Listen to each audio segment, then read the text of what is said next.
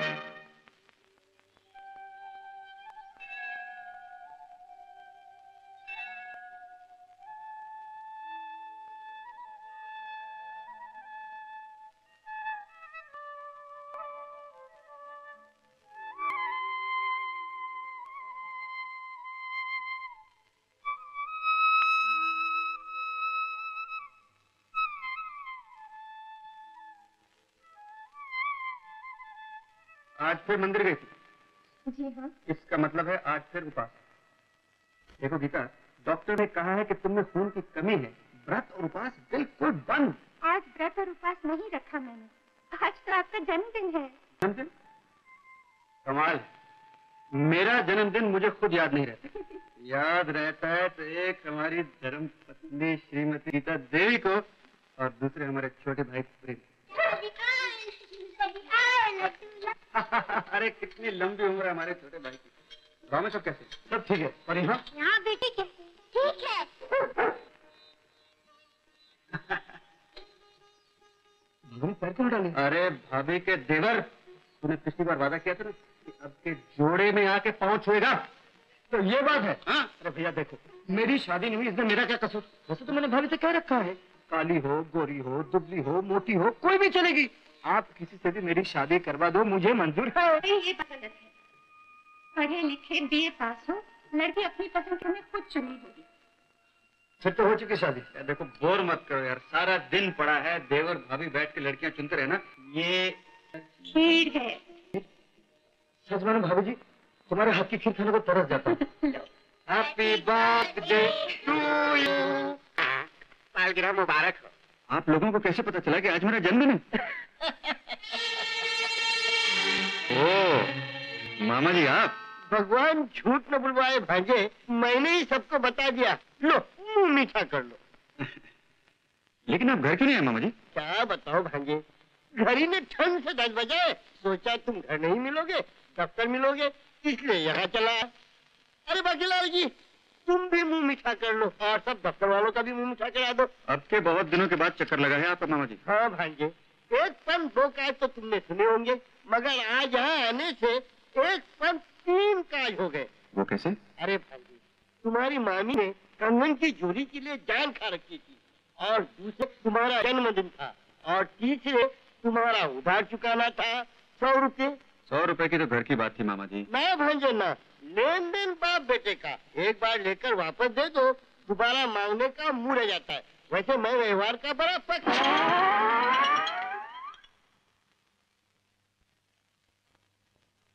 क्या हुआ मामा जी मामा जी तुम्हारे प्रताप बाबू यहाँ के हेड कैशियर हैं और रोज़ाना लाखों का लेन देन भी करते हैं। अरे भैया सौ रुपये तो पहले ही प्रताप बाबू के देने थे।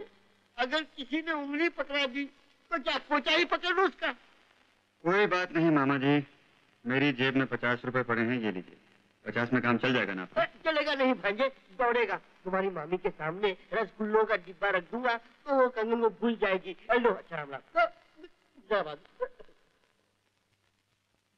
ये आपके सगे मामा हैं? नहीं ये जगत मा... प्रताप बाबू अरे आज आपका जन्मदिन है आपको खुशियाँ मनानी चाहिए और हम सब लोगों को पार्टी देनी चाहिए। अरे छोड़िए आपको छुट्टी मनानी चाहिए।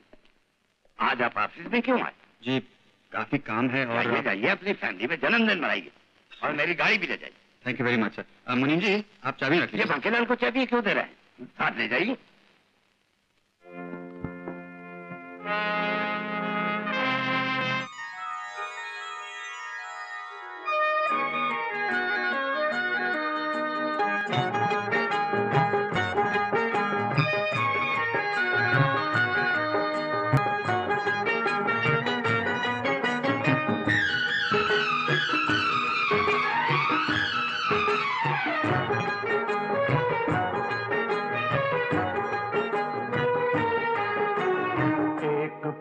फूल और एक मोती से गुथे न कोई हार।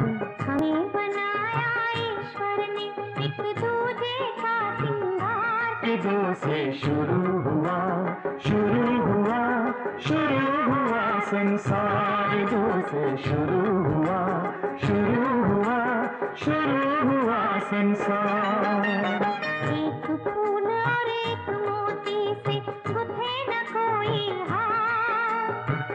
बनाया ईश्वर ने एक दूजे का सिंगार के दो से शुरू हुआ शुरू हुआ शुरू हुआ, संसार दो से शुरू हुआ शुरू हुआ शुरू हुआ संसार।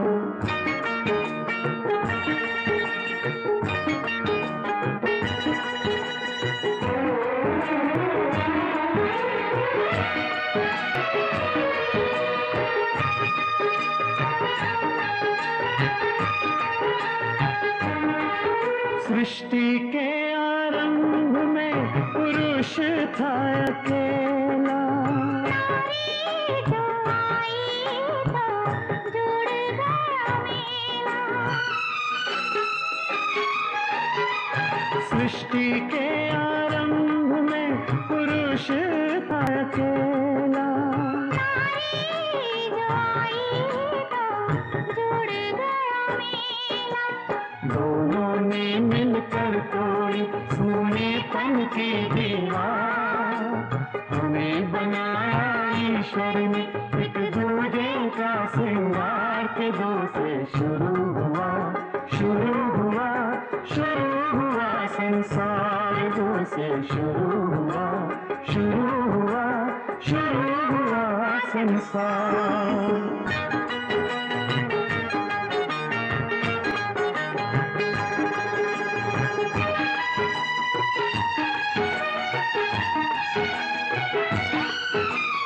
जीवन का बोझ दोनों पग है संभाले।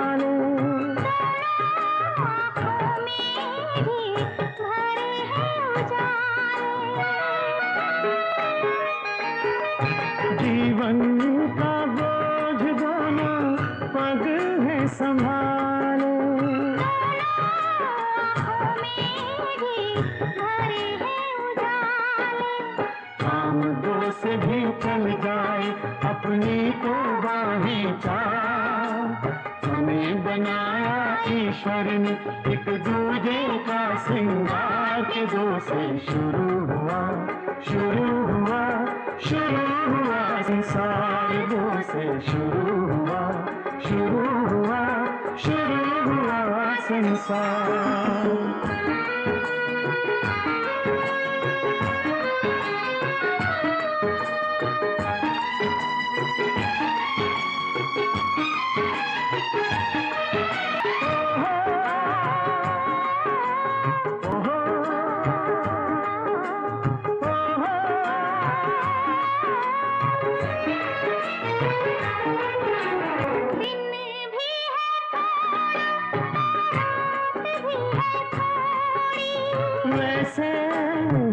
सुख और दुख की है जोड़ी।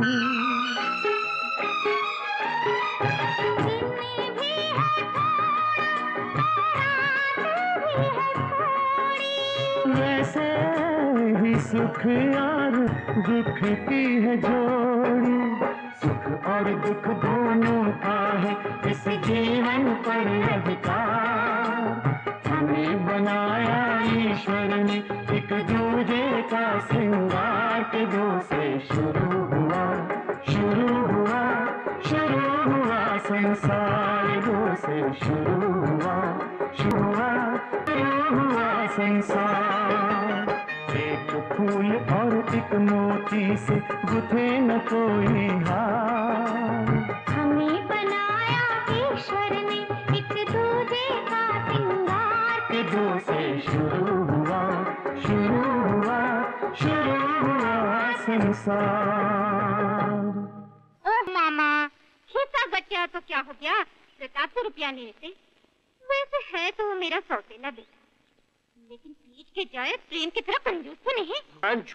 में बुलवाए सुमित्रा बहन? जेब तो उस वक्त कटी पत्ते उतरते वक्त। वरना दस बीस की किसको परवाह? प्रताप से सौ मांगो तो झट निकाल के दे देता है। सच मामा बहुत पैसा है बड़े भैया के पास। अरे बेटी लाखों रुपए में खेलता है। एक बार जाके देख तो सही। माँ चल सूरज चले बड़े भैया के पास। देखेंगे। देखो मामा जल्दी से लौटा देना। तुम तो जानते हो प्रेम फूटी कौड़ी तक हाथ में नहीं देता। लो। भगवान झूठ में बुलवाए जब तक ये खटखट चालू है तुझे पैसों की क्या? नज़र लगाता है। हैं? अरे वाह दो ही रुपए? तीन रुपए निकालो। पिछले दरवाजे का माल और तीन रुपए? ओ देखो चाचा दरवाज़ा अगला या पिछला है तो मेरे घर का। निकालिए और रुपया। निकालिए। चोरी हैं? हैं? अरे माँ। अरे अरे रो क्यों रही है? अरे बता ना क्या हुआ? ये क्या बताएगी? तीन के भाव के चावल चोरी से दो के भाव में बेच रही थी पकड़ी गई। अरे भाव दाम में भूल हो गई होगी। इसने चोरी कहा की? मैंने ही इसे कहा अच्छा इसका मतलब है बेटी की चोरी में माँ भी शामिल है? हाय हाय कैसा जमाना आ गया? पेट का जाया माँ पर चूड़े का इल्ज़ाम लगा रहा है। देखो माँ ये नाटक छोड़ो और सबसे पहले प्रिया को उसके ससुराल भेज दो। भीमसेन जी भीमसेन जी! ये बताइए आप कर क्या रहे थे? पहले मैं चक्की से आटा पिसा के लाया उसके बाद गाय को चारा डाला उसके बाद दूध निकाला तो जंगल से घास काट के लाया फिर आपने आवाज़ दी ये बताइए आप इस घर में कौन है? मैं आपका बहनों ही हूँ प्रिया का पति इस घर का दामाद हूँ। और आप यहाँ आए किस लिए थे? मैं प्रिया को घर ले जाने के लिए आया था क्योंकि माँ जी मेरे को मारती है। तो भी लेके क्यों नहीं जाते? माँ जी कह रही है कि मेरी माँ उसे काम करवाती है। सुनिए माँ प्रिया के साथ उसे काम लेके वो तुम्हें अच्छा नहीं लगता। और तुम अपने दामाद से काम करवा के वो तुम्हें अच्छा लगता है। ऐ, सुनो भीमसन जी कल दिन निकलने से पहले आप प्रिया को साथ लेके चलते बनिए नहीं तो मैं आप दोनों की गठरी बाँध कर आपकी माँ के पास फेंकाऊँगा चाहिए जल्दी चलो ना? अब जल्दी से सामान रख दो। अगर प्रेम आ गया तो हम सबके सब यहीं रह जाएँगे। माँ? जी आप भी चल रहे हैं हमारे घर। नहीं नहीं नहीं। हम प्रताप के यहाँ जाएँगे। अच्छा।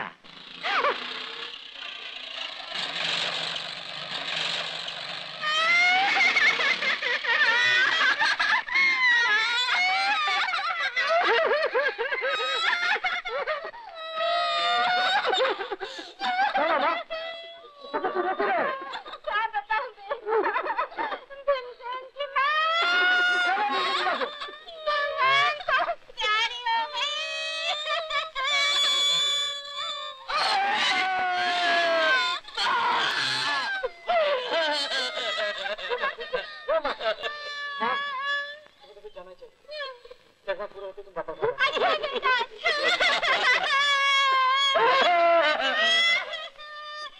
चल जल्दी घड़ी का वक्त होगा हटा!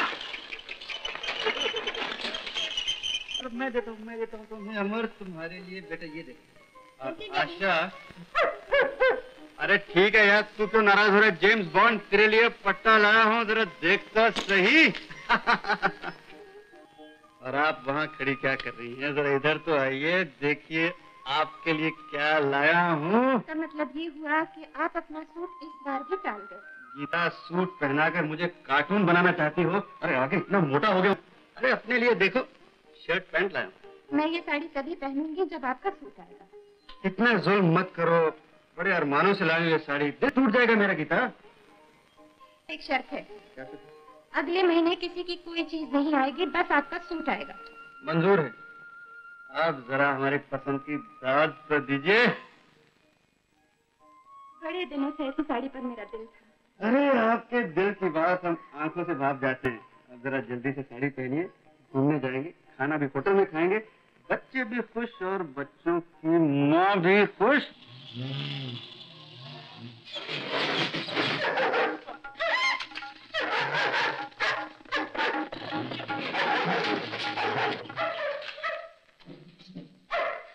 अरे माँ प्रिया आपने बताया नहीं कि आप आ रहे हैं?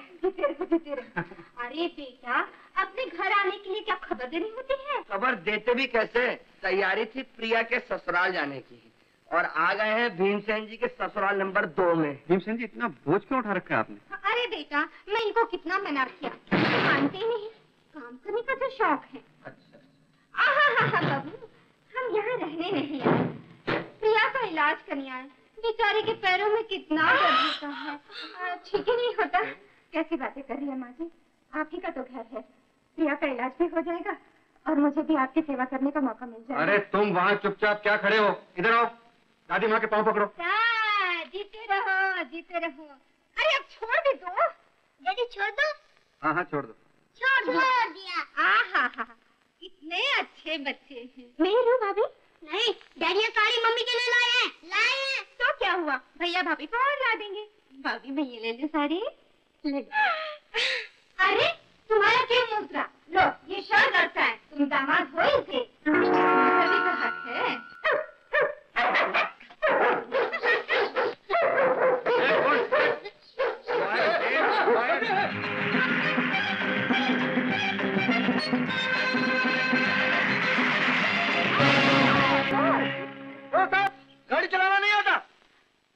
साहब गाड़ी चलाना नहीं आता इधर इधर तो सब खेती खेत है। साहब Hey, the bugger thinks we are boys. That's fine. क्या कहा साहब कुछ नहीं. उन्होंने कहा अच्छा हुआ तुमने बता दिया. हमें किशनपुर जाना है. ओ किशनपुर? हाँ। अब ऐसा कीजिए. उधर दाएँ की सड़क पकड़कर नाक की सीध बराबर चले जाइए साहब। Thank you thank you very much आप कोई गाने बजाने वाले हैं क्या? क्यों? क्योंकि वो किशनपुर में ना बहुत सारे गाने बजाने वाले अपना गला फाड़ रहे हैं। हाँ हाँ हम लोग वही जा रहे हैं। नमस्ते जी। बाय इडियट नमस्ते। नमस्ते। अरे हम्म। दा, दा, दा, दा।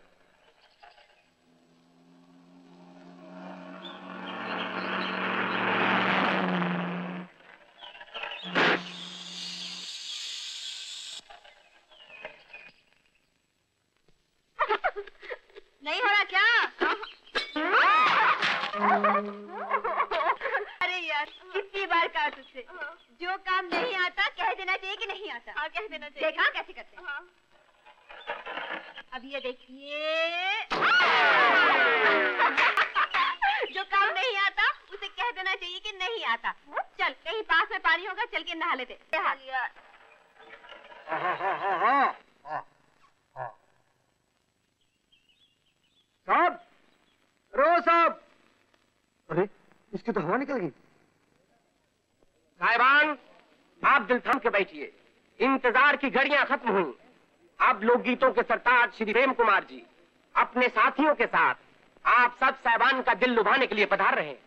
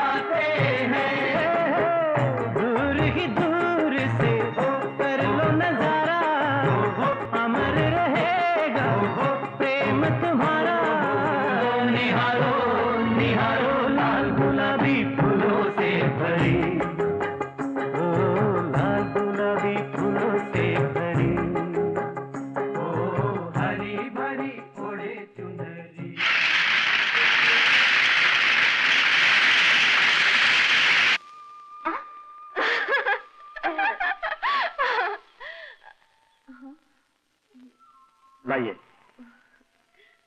थैंक यू कभी कभी ऐसे भी मज़ाक हो जाते हैं जिन्हें इंसान कभी नहीं भुला सकता। सिर्फ़ मज़ाक क्यों? हम तो उस इंसान को भी कभी नहीं भुला सकते। जो कवि है गवैया है पढ़ा लिखा है और उसके साथ साथ में इडियट इडियट है नहीं।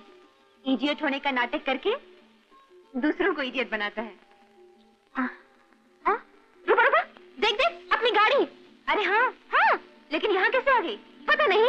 आप क्या समझते हैं हमारे गाँव में मैकेनिक्स नहीं होते? हम कुछ नहीं समझते हुजूर। आप हर तरह से जीते हम हर तरह से हारे। चलिए। अच्छा तो अब आप ये बताइए कि आप सूरत कब आ रहे हैं? सूरत तो मैं अक्सर जाता रहता हूँ। वहाँ मेरे बड़े भैया रहते हैं। हम्म, ये लीजिए मेरा card. Miss Rupa Kumari daughter of Harishchandra. आप हरिश्चंद्र जी की बेटी हैं? जी हाँ। उनके तो बहुत बड़े बड़े पेपर्स निकलते हैं। आप जानते हो? जी नहीं नाम सुना है। बहुत बड़े आदमी है ना? तो क्या? शादी तुम्हारी बेटी के पैसे मैं दूँ? क्यों? जाओ नहीं है पैसे। अरे सुनो मैंने कहा नहीं है पैसे तुम चल दिए। कितने पैसे चाहिए? यही कोई पाँच सौ रुपए हजूर। हम्म, पाँच सौ बहुत ज़्यादा है। हम्म, ये लो। एक दो तीन। अरे सुनो तीन सौ से शादी हो जाएगी। कैसे हो जाएगी हजूर? तो फिर चिल्लाते क्यों नहीं? शोर मचाओ रो के नहीं होगी नहीं होगी नहीं होगी। पागल कहीं का एक दो तीन चार पाँच। ये लो पाँच सौ और लो। और ज़रूरत पड़े तो दफ्तर से ले ले। बहुत बहुत शुक्रिया हजूर। मालिक आपको खुश रखे। डैडी ये क्या आदत है आपकी? पहले इनकार कर देना और बाद में दे देना। तू नहीं समझती। ना उम्मीद करके उम्मीद से ज़्यादा दे देने से खुशी हज़ार गुना बढ़ जाती है। लेकिन डैडी उस इनकार और इकरार के बीच जो चंद सेकंड होते हैं उनमें उस आदमी पर क्या गुजरती होगी? कभी सोचा है आपने? हर तरह से नाउमीद होकर वो आदमी अपनी जान दे भी सकता है और दूसरे की जान ले भी सकता है। प्रेम कुमार जी जो लोकगीत गाकर हज़ारों का दिल मोह लेते हैं कुछ छोड़ो इसको पढ़ो। इसको हम्म। बदनामी जमाना प्राणनाथ। द्रोही जिसने धोखे से छह लड़कियों से शादी की। छह लड़की लो हाँ, और दगा देकर चक्कर हो गया तलाश है। खबर देने वालों को एक हज़ार रुपए इनाम दिया जाएगा। मुरली वाला ये हज़ार रुपया हमार को मिल जावे तो हमार जीवन सफल हो ही जावे। मुरली वाला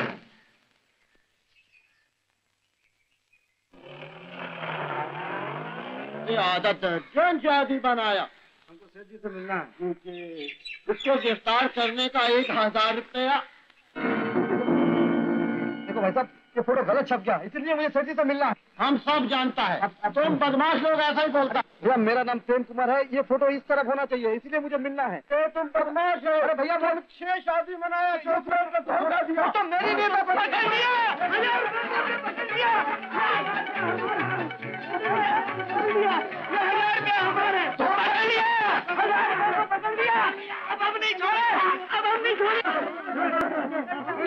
आप आज का पेपर देखिए पता लग जाएगा। यस कमेन हाँ जी। ओके जी ओके ये तस्वीर देखी आपने? हाँ देखिए। ये मेरी तस्वीर है।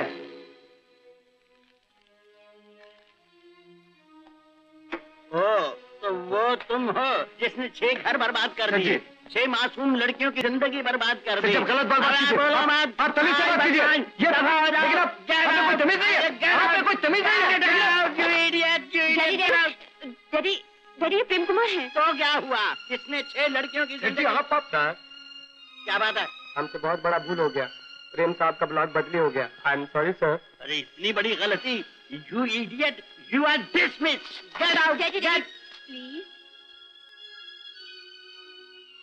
I am sorry मैं बहुत शर्मिंदा हूँ मिस्टर प्रेम कुमार कल के पेपर में छप जाएगा भूल सुधार आपकी फ़ोटो के साथ। अरे आप खड़े क्यों हैं? बैठिए ना। अरे हाँ हाँ तशरीफ़ रखिए प्लीज़ प्लीज़ जी शुक्रिया। मैं जरा जल्दी में हूँ। प्लीज़ बैठिए ना।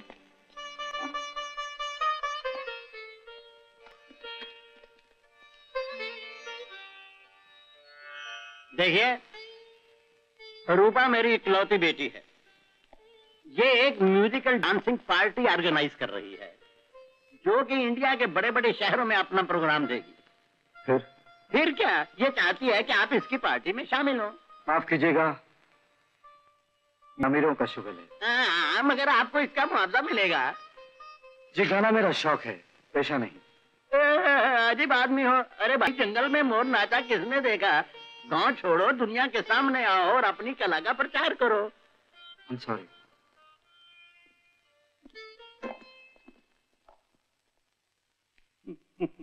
माँ यहाँ? क्यों?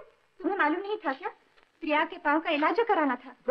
अरे कोई खास बात नहीं डॉक्टर ने कहा है मामूली सी मोच आ गई। लेकिन मुझे तो कहकर गई थी कि विंसेंट की माँ का स्वर्गवास हो गया हम लोग वहाँ जा रहे हैं। अरे हमारे जाने से क्या वो ज़िंदा हो जाती? हम्म, मर गई तो मर गई। क्या हुआ भीमसेन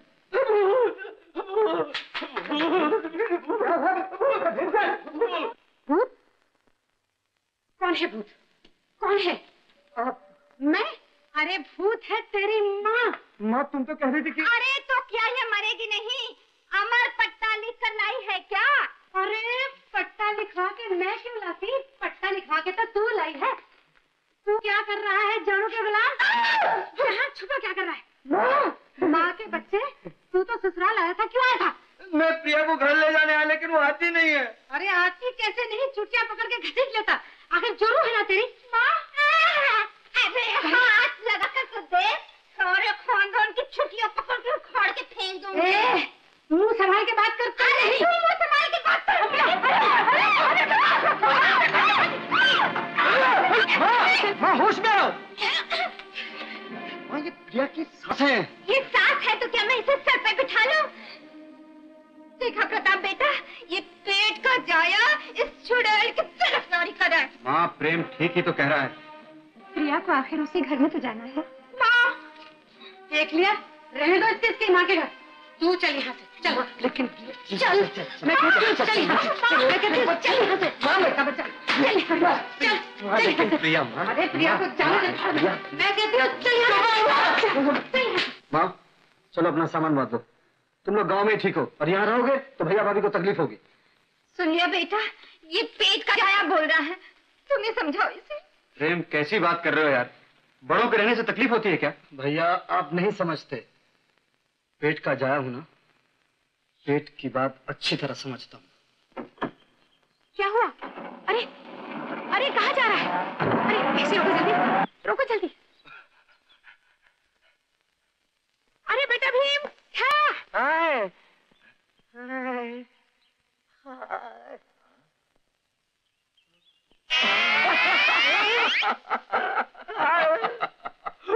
You fool!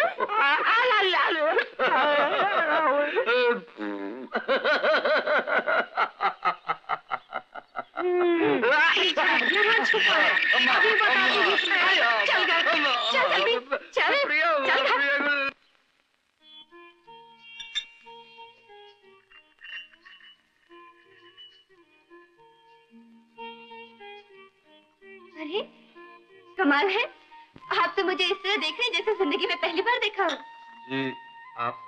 आप मेरा परिचय कराएँगे कि मैं खुद ही नहीं नहीं नहीं नहीं, ऐसी बात नहीं है। भाभी यह मिस रूपा जिस पेपर में मेरी गलत फ़ोटो छपी थी ना उस पेपर के मालिक श्री हरिश्चंद्र जी की बेटी। और आप मेरी भाभी मेरे बड़े भाई पेपर में गलत फ़ोटो छपा था तो मैंने सोचा आप लोगों से माफ़ी मांगा हूँ वैसे इनका फ़ोटो मैंने खींचा था। आपने? हाँ मैंने गाँव में इनका गाना भी सुना था। बहुत अच्छा गाते हैं। मुझे ये अपने घर भी ले गए थे। अच्छा। लगता है आपके अगले जन्मदिन पर ये भी आपके पैर छू रही है। क्या आपने? कुछ नहीं कुछ नहीं। आप बातें कीजिए मैं और चाय ले आती हूँ। सुनिए ये बात तो मुझे आपसे कही है। मुझसे? तो फिर आइए मेरे साथ। चलिए। प्रेम लड़की ज़्यादा ही मॉडर्न है यार। अपनी बात खुद करने चली आई। सुनिए जरा इधर आइए। बुलावा आ गया। बोलो हाँ कह दूँ या ना? देखो भैया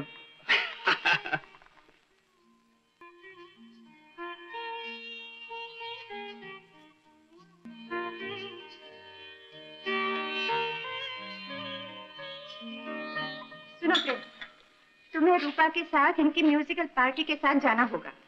जी लेकिन भाभी जी लेकिन लेकिन कुछ नहीं। हाँ बोलो यार। अच्छा भैया जब आप बोलते हैं तो प्रॉमिस प्रॉमिस ए, निकाल। तुम नहीं करो तुम भी निकालो। क्या समझता है अपने आप को? हमारी फैक्ट्री में काम करके हमारे वर्करों से दादागिरी करता है। चाकू छुरी दिखा के उनसे हफ़्ता लेता है। हफ़्ता से नहीं लेता सेठ। जब से फैक्ट्री खुली है तब से लेता है। और जब तक ये फैक्ट्री खुली रहेगी तब तक लेता रहेगा। क्या बकता है कमीने बदमाश? गाली मत दे सेठ। विक्रम अकेला नहीं है। पूरा गैंग है मेरे साथ। अरे गैंग के बच्चे निकल जाओ यहाँ से। Get out get out Vikram से दुश्मनी महँगी पड़ेगी सेठ।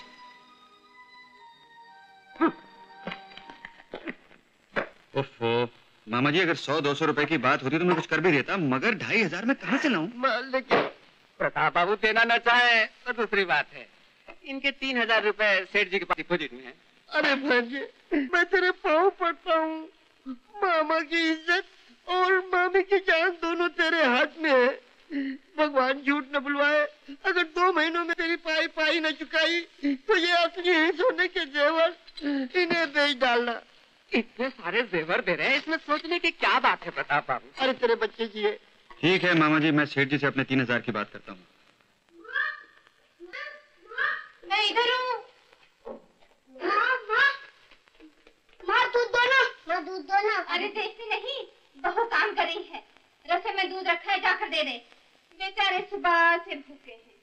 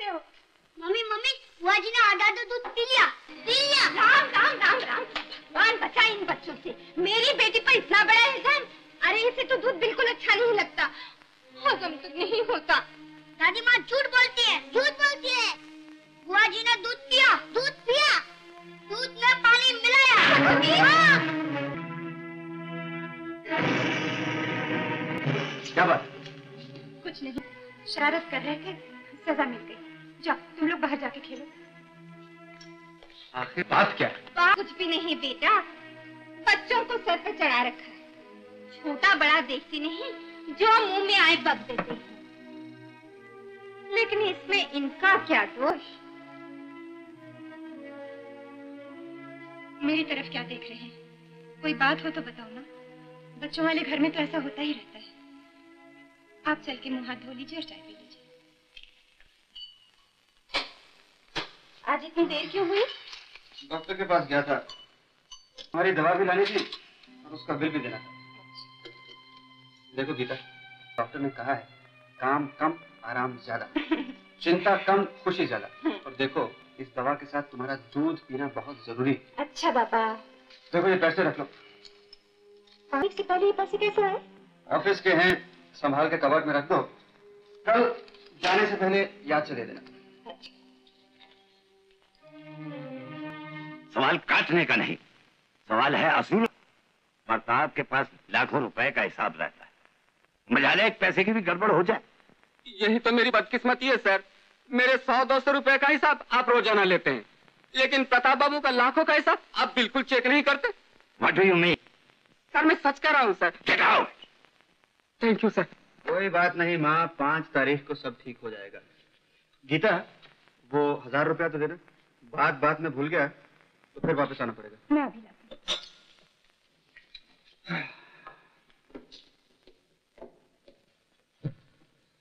लगता है मुझसे गलती हो गई। अपने पैसे मामा जी को दे दिए। अब शायद मुझे कर्ज लेना पड़े। और आप मेरे दूध पीने की बात कर रहे हैं। तुम्हें अपनी सेहत का ख्याल रखना ही पड़ेगा गीता चाहे मुझे अपने आप को बेचना क्यों ना पड़े। गीता क्या ढूंढ रही हो? तेरे कहाँ रुपए? रुपए तो नहीं मिल रहे हैं। ये तो बुरी आदत तुम्हारी। रखती कहाँ ढूंढती कहाँ मैंने इन्हीं साड़ियों के नीचे तो रखे थे। तो फिर कहाँ गए? My god Geeta Geeta. Late late I am sorry Geeta. क्या बताऊँ आजकल? इतनी परेशानी है आजकल ये लो। देखो ऐसा करो। बाद में रुपए ढूंढना, जब मिल गए तो ऑफ़िस भेज देना। Geeta I am sorry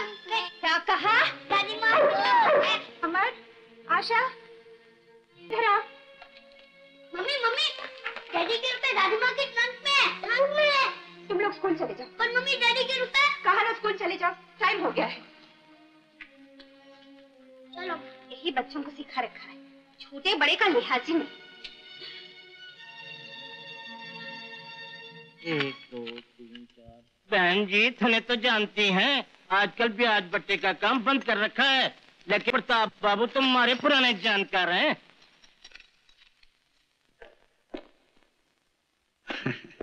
तबीयत कैसी? ठीक है। पैसे मिल गए? जी हाँ। मैंने कहा था इधर उधर रख दिए होंगे तुमने। जाती हूँ। प्रिया हम्म एक बात कहूँ। क्या है? देखो ये तुम्हारे भैया का घर है वो तो है ही। जब तुम्हें किसी भी चीज़ की ज़रूरत हो तो मांग लेनी चाहिए। वो तो मैंने मांगी है। बिंदिया चूड़िया चप्पल और घड़ी का पट्टा।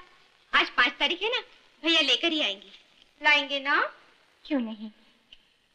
तो जब तुम्हें हज़ार रुपए की ज़रूरत थी तो वो भी मांग लेने चाहिए थे। तुम्हारे भैया इनकार थोड़ी करते। भाभी तुम्हारा मतलब है भैया के हज़ार रुपए मैंने चुराए मैं चोर हूँ? ओ माँ! भाभी हमें चोर कहती है। क्या? कहा?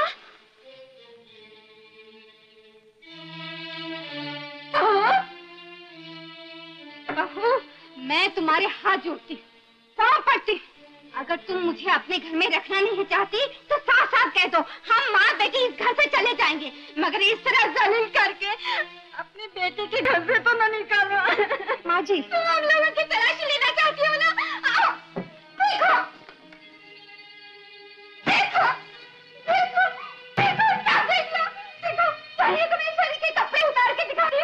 आज सुबह तो रुपए ट्रंक में थे।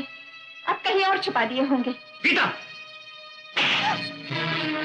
तुम रुपए ऑफ़िस में तो दे गई अब इन पे झूठा इल्ज़ाम लगा के इन्हें घर से बाहर निकाल देना चाहती हो? ये मेरी माँ है। ये इनका अपना घर है। ये इसे छोड़कर कहीं नहीं जा यही रहेंगी, समझी?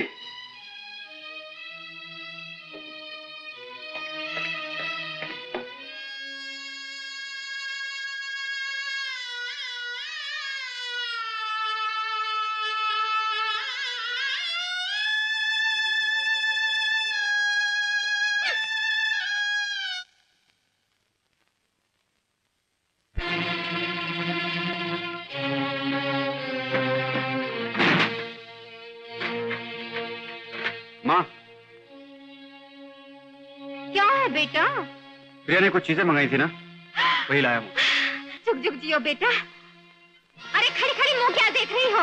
ऐसा भाई तो सात जन्म तक नहीं मिलेगा समझी?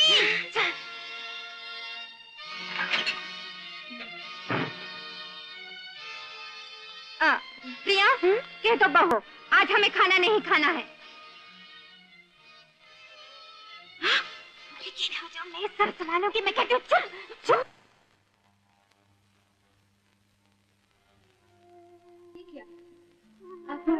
शुरू भला खाने पर कैसा गुस्सा? इस बार मुझे माफ़ कर दीजिए। फिर कभी ऐसी भूल नहीं होगी। देखिए, आप नहीं खा रहे तो बच्चे भी नहीं खा रहे हैं।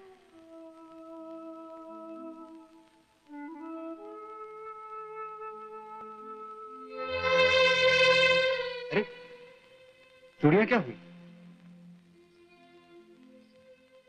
चूड़ियाँ बेचकर वो रुपए लाई थी ना तुम। भूल जाइए उस बात को। पहले खाना खा लीजिए। तुम कितनी महान हो गीता। माँ की इज़्ज़त बचाने के लिए तुमने अपनी चूड़ियाँ बेच दी। और मैं कितना नीच हूँ। मानकर तुम पर हाथ उठा दिया। तो क्या हुआ? किसी घर पर तो नहीं अपनी पत्नी पर ही तो हाथ उठाया नहीं गीता नहीं। आज मैं तुमसे आँख नहीं मिला सकता। तुम्हारे सामने आज मैं बहुत छोटा हो गया हूँ। चोरी उन्होंने नहीं की।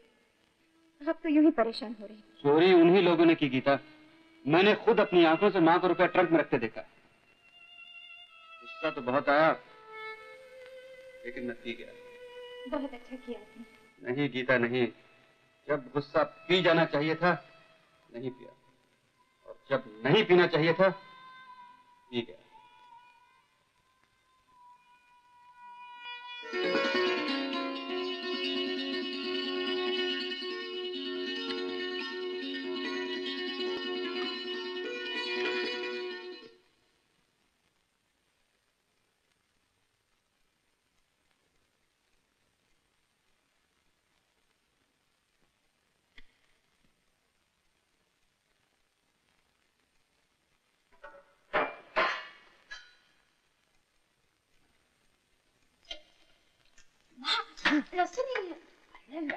नहीं तो है खाना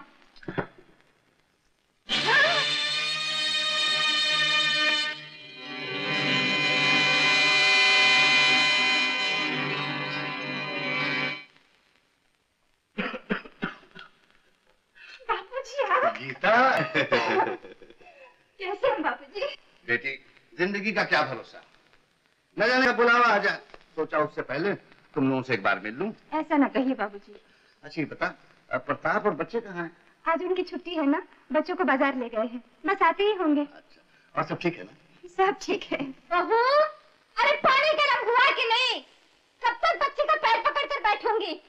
हो गया माँ जी अभी ले आती हूँ। समधन जी आई हैं क्या? जी हाँ आप बैठिए मैं आपके लिए चाय लाती हूँ समझी। जागे भाग हमारे दर्शन भय तुम्हारे। आप कब आए बस आ ही रहा हूँ समधन आप कैसी हैं? मुझे क्या हुआ है? बेटे को देख देख के खून सूखा जा रहा है। क्या हुआ प्रताप को? होना क्या है जी? अकेला कमाने वाला और खाने वाले इतने सारे और ऊपर से इतनी महँगाई है। ये बेचारी सारा दिन रसोई में घुसी रहती है। किस किस को संभाले? दस बज गए हैं अभी तक चाय नसीब नहीं हुई। कैसी बातें कर रही हैं माँ जी चाय तो रोज आप इसी वक्त पीती हैं। सुबह तो आप दूध और नाश्ता करती हैं। हाँ हाँ हाँ हाँ बहू तुम्हारे बापू आ गए तो क्या हमें घर से निकाल दोगे? एक सेर दूध इसके लिए आता है। एक सेर दूध इसका कुत्ता पीता है। हमारे दो घूंट दूध का ढिंडोरा पीट रही है।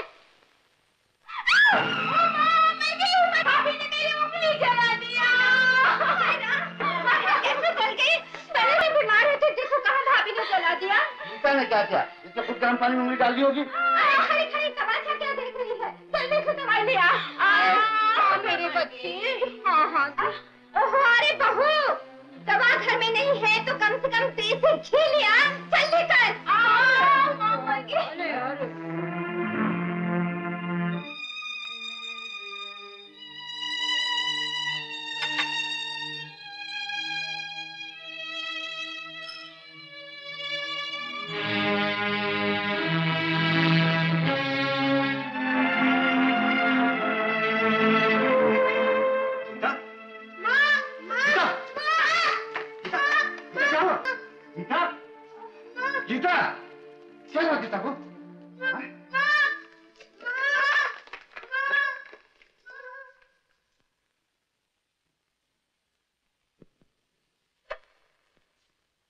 घबराने की कोई बात नहीं। अल्सर का ऑपरेशन करना पड़ेगा। लेकिन डॉक्टर साहब ऐसी कमज़ोरी की हालत में ऑपरेशन? इसके लिए इनको यहाँ हॉस्पिटल में रहना पड़ेगा। ठीक है डॉक्टर साहब। खर्चा कितना आएगा? ज़्यादा से ज़्यादा तीन हज़ार रुपए। तीन हज़ार? देखिए एक दूसरा तरीका भी है। आप इन्हें गवर्नमेंट हॉस्पिटल में दाखिल करवा दीजिए। नहीं डॉक्टर साहब। गीता का इलाज इसी अस्पताल में होगा। आप खर्चे की फ़िक्र न करें। बस मुझे गाँव जाने की देर है। बाबूजी। तू फ़िक्र क्यों करती है? अरे मेरा जो कुछ भी है तुम ही लोगों का तो है। तो एक बार अच्छी हो जा। मेरा क्या है? जिस दिन यमराज ने दरवाज़ा खटखटाया उनके पीछे पीछे चला जाऊँगा। चलो ले चलो इनको। ए, तुम लोगों ने इतने इतने बाल को बड़ा रखा है? लेकिन साहब मेरे बाल तो छोटे up! चलो चलो उस तरफ़ नाइयों के पास चलो। इनकी भाषा भी मैं कहता हूँ बैठो बैठो बैठो नीचे। चुप। लेकिन इसके बाल काटो। ए यू मिस्टर ओ मिस्टर बैठ जाओ मैं सिर्फ़ खड़ा हुआ था साहब। काटा। काटिया। अरे ऑफिसर साहब। अरे मेरे अच्छे प्यारे बाल। अरे अरे मेरे बाल। मेरे प्यारे बाल। मेरी प्रिया मैं कैसे तुझको अपना मुँह दिखाऊँ? देखो कौन आया।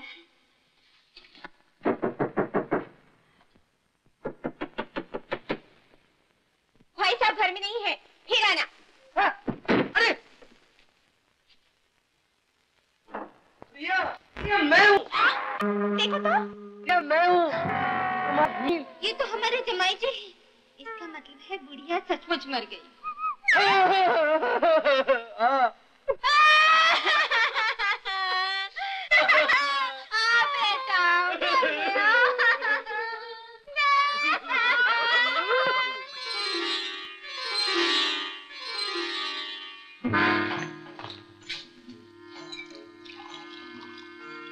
क्या देख रहे हो। माँ ने कहा था। क्या कहा माने पोता। बेटा हम्म। ओ माँ। ठत्ते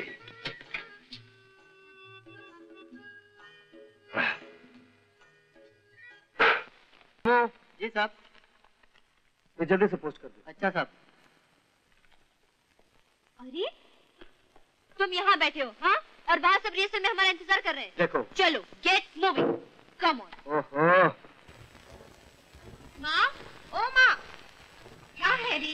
प्रेम भैया की चूल्हे अच्छा लेकिन भाभी की अरे देख तो सही। देवर ने भाभी को क्या लिखा है? उठ जल्दी कर। अरे ये क्या? अरे ये चिट्ठी कहाँ ले जा रहे हो? प्यारी भाभी आप धन्यवाद। और भाई साहब को भी धन्यवाद। अगर आप लोग मजबूर करके मुझे इस टूर पर भेजते तो ये रंग बिरंगी दुनिया कभी ना देख पाता। भाभी जी, रूपा और मैंने मिलकर एक कवाली का प्रोग्राम तैयार किया है।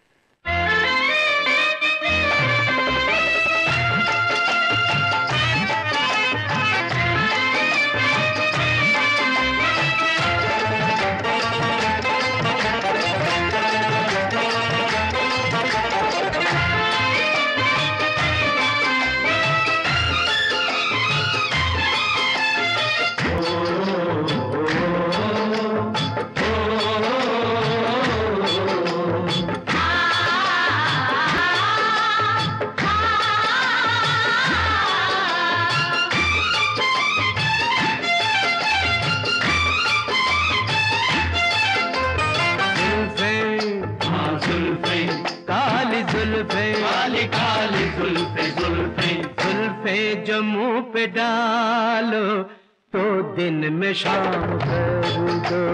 जुल्फे जो मुँह पे डालो तो दिन में शाम कर दो। जुल्फे जो मुँह पे डालो तो दिन में शाम कर दो।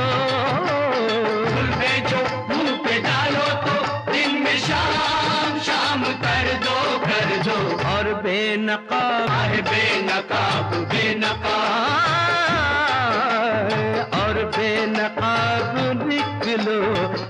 कत्ल आम कर दो। और बेनकाब निकलो तो कत्ल आम कर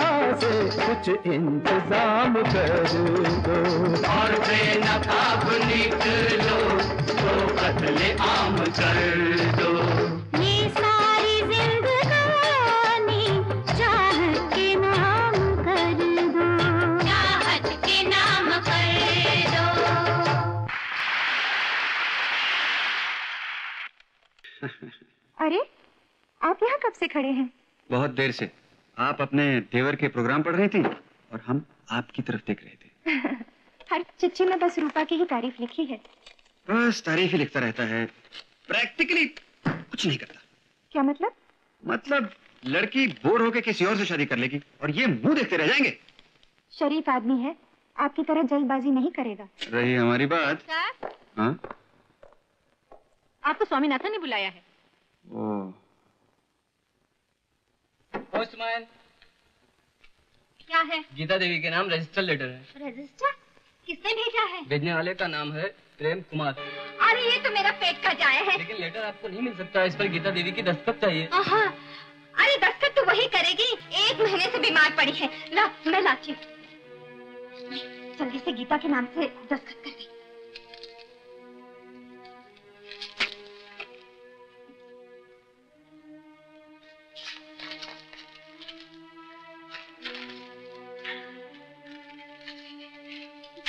रे सौ नोट पर भाभी दो हज़ार रुपए भेज रहा हूँ। दो हज़ार? देखा? ये पेट का जाया माँ को सौ रुपए तक नहीं भेजता। और भाभी को दो हज़ार भेजे हैं।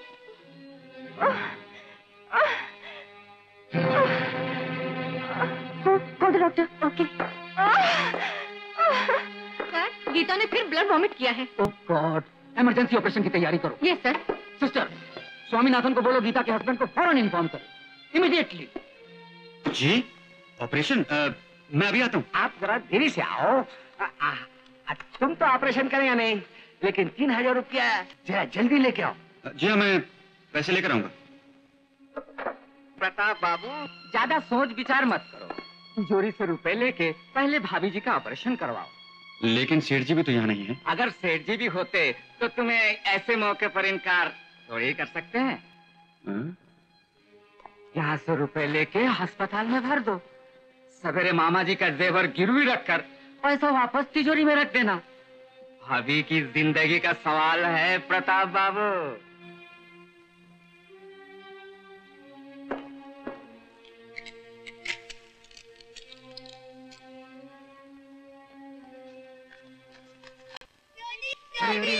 तुम लोग रो क्यों रहे हो?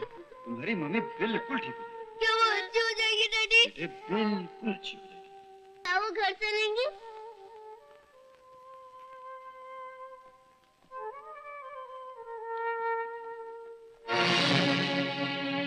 ऑपरेशन कामयाब रहा। थैंक यू डॉक्टर साहब thank you very much sir that's all that's all congratulation congratulation ये तुम्हारा बिल दो हज़ार आठ सौ एटी रुपीज़ एटी नया पैसा। हाँ। तुम्हारा वाइफ को थोड़े दिन इधर रहने को पड़ेगा। अ, वो फिर अच्छा हो जाएगा तुम उसको लेके जाओ। तुम तीन हज़ार देगा तो बहुत अच्छा रहेगा हिसाब से। जी, जी, ए, क्या हुआ? मेरा कवर क्या बात है बेटा? मेरा पैसों का कवर तीन हज़ार रुपए थे उसमें। तीन हज़ार?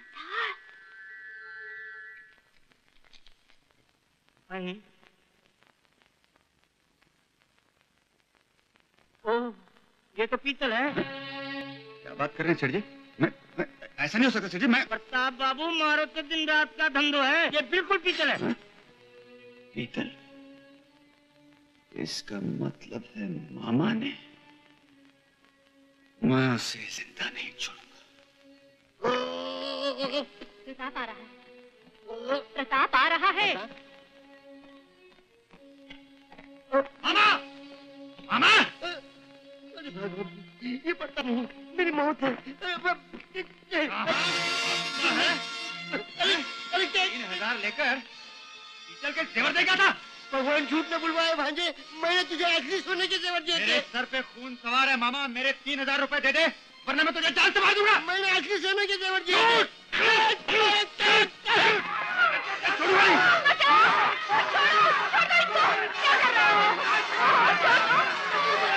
क्या हो गया ये क्या हो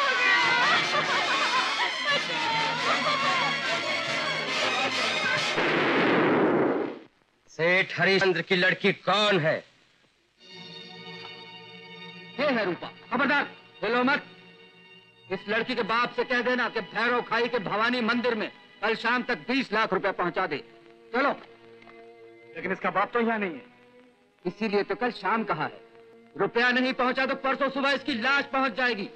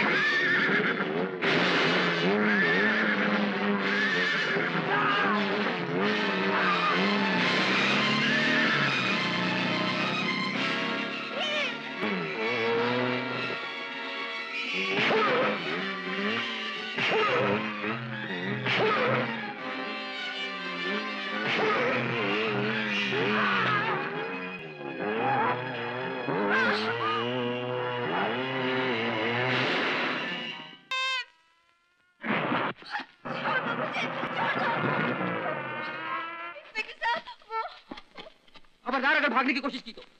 गोलियों से सीना छल्ली कर दूँगा। गिरफ़्तार कर लो इन सबको। इंस्पेक्टर सवाल सिर्फ़ तीन हज़ार रुपए का नहीं। सवाल है आदमी के कैरेक्टर का। जो तीन हज़ार रुपए की हेरा फेरी आज कर सकता है वो कल तीन लाख का भी कर सकता है। मैं इस मामले की तय तक पहुँचना चाहता हूँ। इंस्पेक्टर साहब आप इस मकान की तलाशी लीजिए। हवलदार तलाशी लो।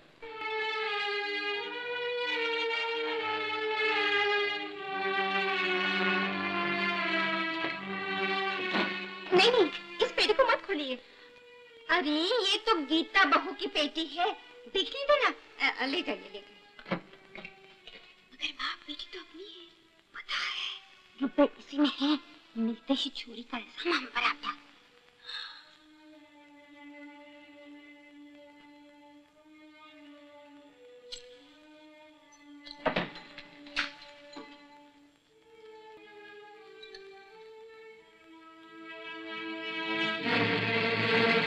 लिफाफा रुपए इसी में है। बाकी कभी झूठ नहीं बोलता। हाँ रुपए इसी में है। लेकिन आप इसे नहीं छू सकते। ये सेठ शिवराज के रुपए हैं। मैं सेठ शिवराज लेकिन प्रताप ने कंपनी के रुपए घर में क्यों रखे? ये हमको नहीं मालूम। लेन देन के रुपए होंगे उन्होंने कहा पेटी में रख दो हमने रख दिया। ये अथॉरिटी तो हमने प्रताप को दे रखी थी। लेकिन प्रताप तुमको ये रुपए दे के गायब कहाँ हो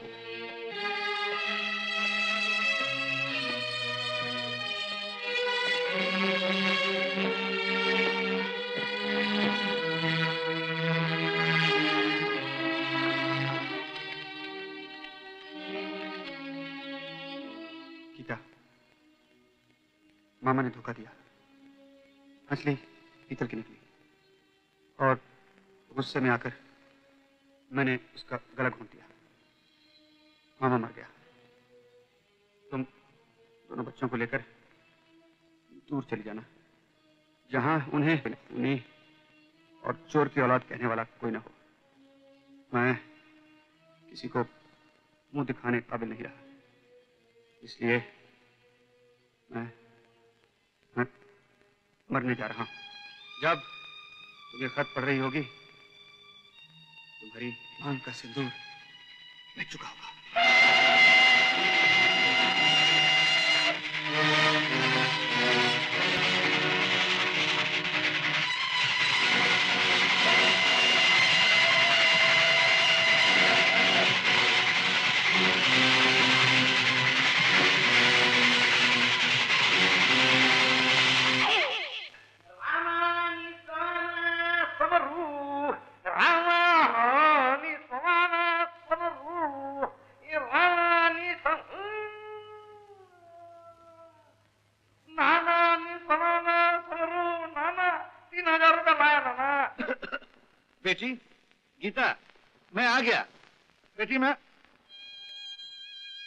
जानता हूँ। तू नाराज़ होगी। लेकिन क्या करता बेटी? जितने रुपए लेने थे, वो कलकत्ते चला गया। सोचा मकान ही बेच दू। मकान के बेचने में, लिखाई पढ़ाई करने में देर हो गई। ये देख देख, मैं रुपए ले आया। बेटी, मैं रुपए ले आया। तू बोलती क्यों नहीं है?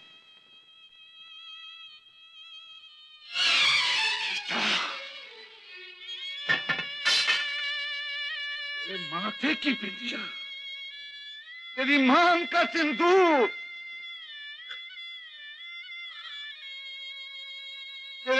हाथों की चूड़ियाँ गीता ये क्या हो गया? अरे कैसा अनर्थ हो गया? गीता गीता!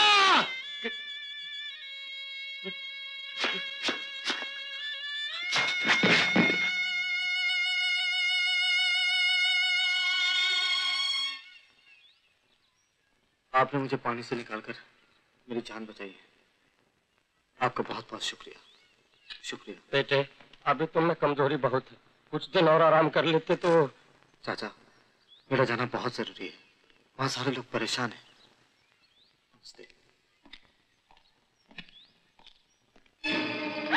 तुमने प्रताप भाई के रुपए छुड़ाए। तुम्हारे कारण प्रताप भाई की मौत। तुम्हारे कारण नाना की जान गई। तुम्हारे कारण गीता भाभी ने घर छोड़ा।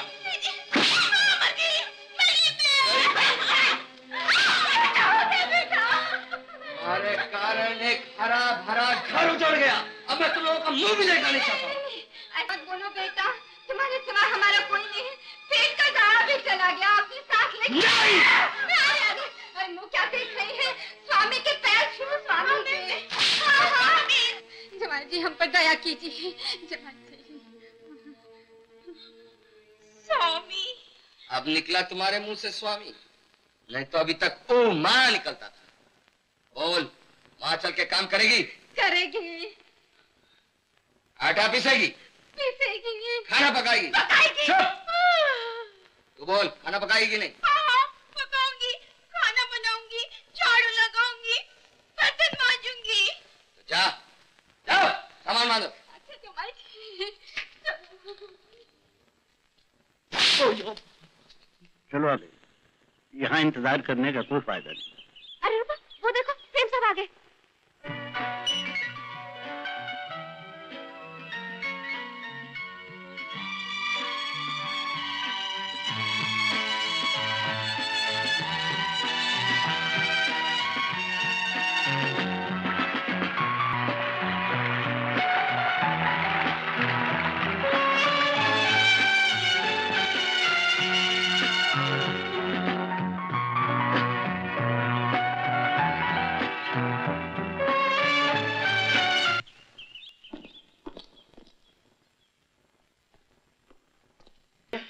बता सकते प्रताप शर्मा और उनके बच्चे कहाँ काफ़ी दिनों से उनका घर बंद है। ना ही उनके बाल बच्चों का पता है। सुना है प्रताप शर्मा जी मर गए हैं।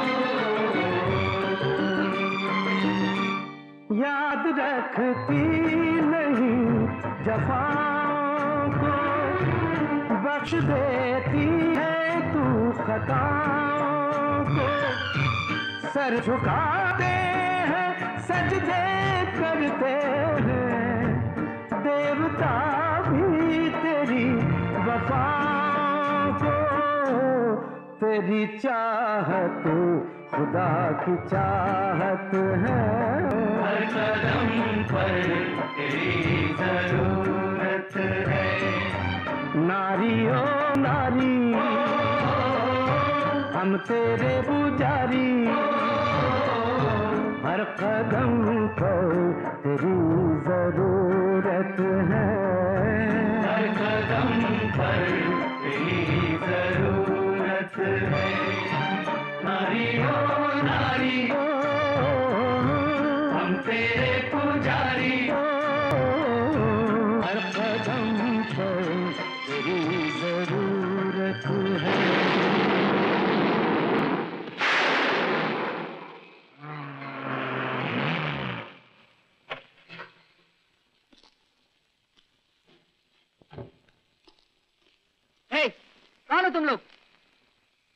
बारिश की वजह से यहाँ खड़े हैं। बारिश रुकते ही चले जाएँगे। तब तक क्या गाड़ी बारिश में खड़ी रहेगी? निकलो यहाँ से।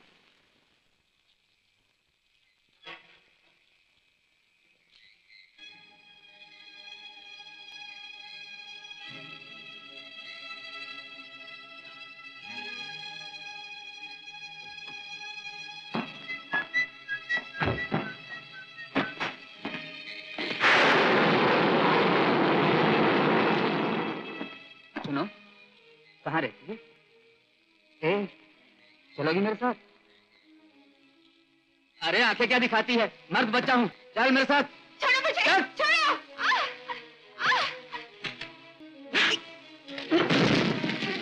लो कर लो बाता मर्द के बच्चे की। अबे साले अगर तुझ में दम होता ना तो तेरी बीवी भाग के दूसरा कसम न करती। चल चल बहन से माफ़ी मांग। अबे माँगता है नहीं? मुझे माफ़ कर दो बहन जी। फट! और अभी फट! तुम घबराओ मत बहन। मेरे होते हुए तुम्हारा कोई कुछ नहीं बिगाड़ सकता। अरे मौसी ये सब आलू तो गिर गए गिर गए। तुमने मुझे मौसी कहा? आपने हमारी मम्मी को बहन का तो आप हमारी मौसी हुई मौसी हुई। मेरा मेरी भिंडी। नहीं मेरा नाम अमर है इसका नाम आशा। अरे भाजी वाली मौसी है तुझे चिक्कू ही कह के पुकारेगी। और भिंडी चल चल।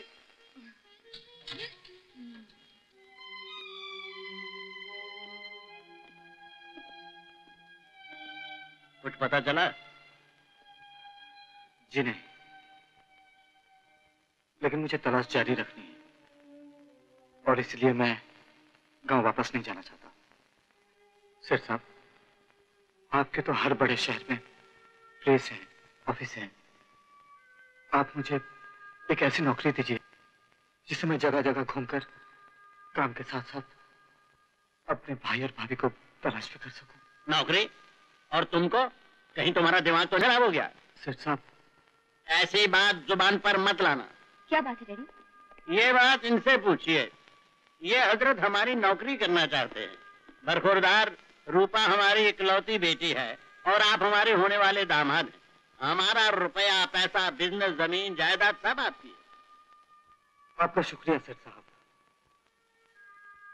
लेकिन जब तक मुझे मेरे भाई भाभी और उनके बच्चे नहीं मिल जाते तब तक मैं शादी के बारे में सोच भी नहीं सकता। भाई कमाल है। भाई भाभी के साथ क्या? Daddy please.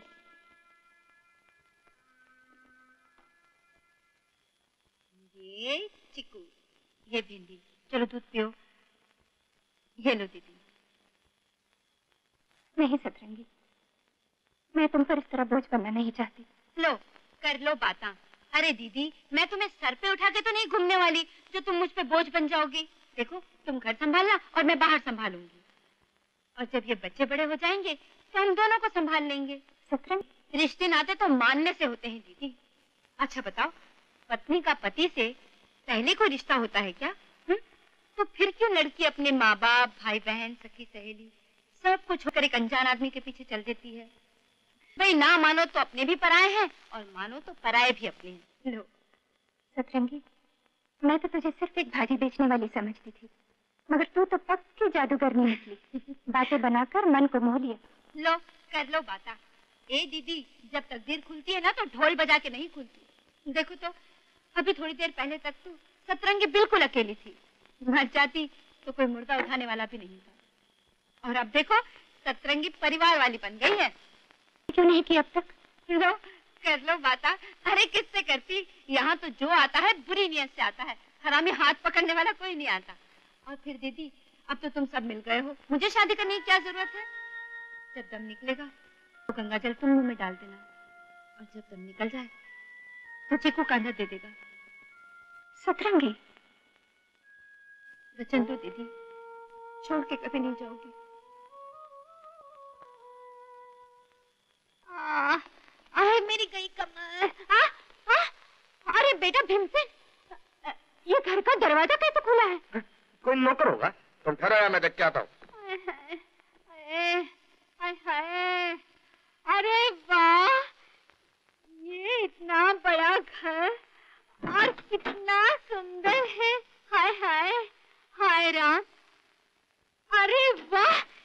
यहाँ तो बिजली का पंखा भी है। देखिए जरा पानी तो पिला दो। अभी नहीं। वाह।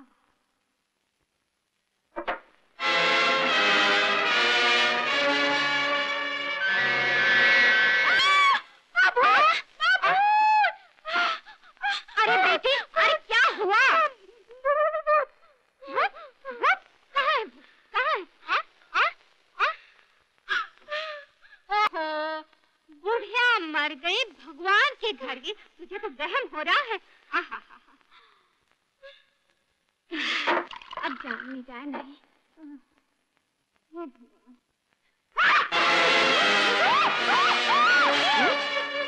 मैं भूत नहीं हूँ। मैं ज़िंदा हूँ। आप ज़िंदा है? ये तो बहुत खुशी की बात है।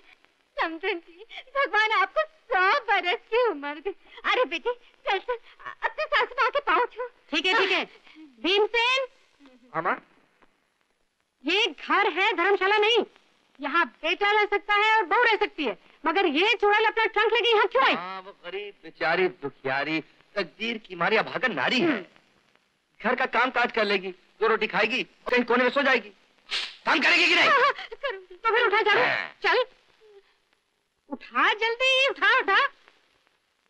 चल।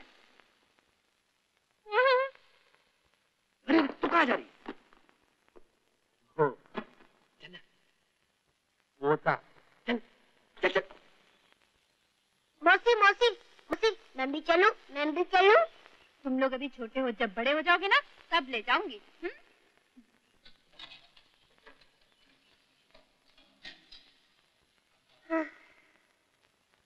कमाने वाली एक मौसी है। और खाने वाले एक, दो, तीन, और मम्मी चार। क्या? हमें भी कुछ करना चाहिए करना चाहिए।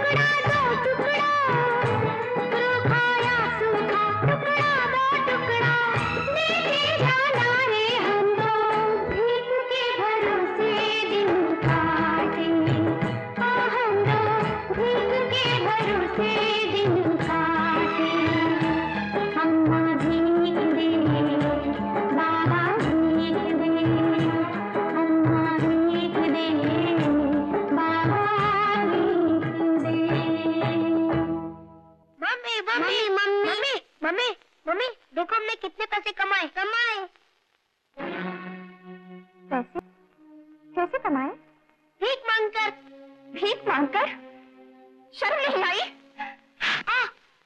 क्या भैया उसने कुछ नहीं। ये काम अच्छा नहीं हम भीख नहीं मांगेंगे। चलो चलो।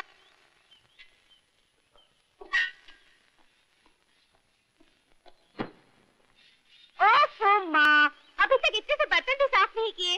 अरे बेटी कर तो रही हूँ। क्या कर रही हो? अभी ससुर जी बाहर से आएँगी तो तुम्हारी वजह से दो बातें मुझे सुननी पड़ेंगी। अभी तो कपड़े धोने हैं खाना बनाना है। अरे बेटी कभी तुम भी तो मदद कर दिया करो। मैं अकेली कब तक मरती रहूँगी? जी सुनते हो? क्या है? माँ जी काम करने को कह रही है। अरे बेटी? तू भी उन लोगों के साथ मिल गई हो? मैंने तेरे लिए क्या क्या नहीं किया। एक वो पेट कटाया और एक तो पेट की जाए। अरे यहाँ खड़ी खड़ी क्या कर रही हो? देर हो नहीं डालेंगे चलो ना। सुनो घर का ख्याल रखना। आओ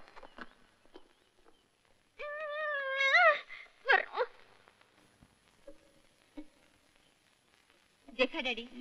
आपकी ये फैक्ट्री भी लॉस में जा रही थी। लेकिन जब से प्रेम आया है इसने प्रॉफिट दिखाना शुरू कर दिया है। हाँ बेटी फैक्ट्रियाँ तो सब प्रॉफिट में चलने लगी लेकिन फैक्ट्री वाला अभी तक लॉस में चल रहा है। जी। तुम्हारी वजह से नहीं बैठ जाओ। इसकी वजह से। मेरी वजह से? हम्म। तुम लड़की हो ना इसलिए। क्या मतलब डैडी?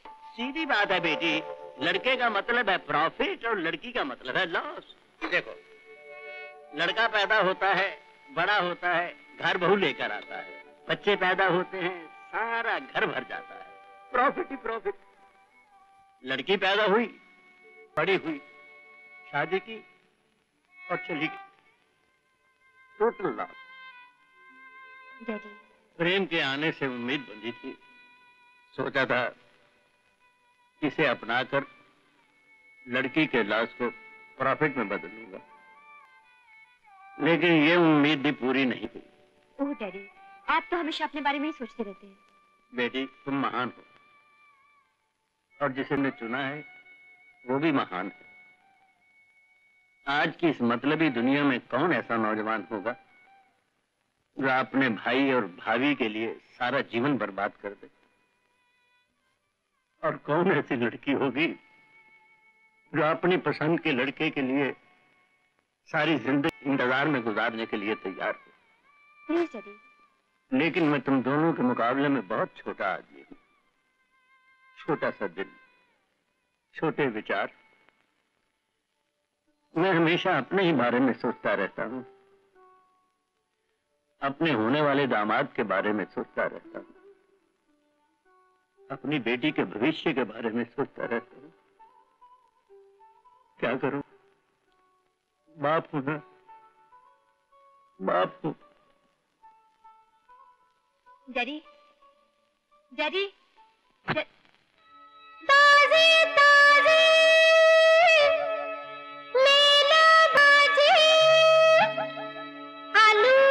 मटर मटर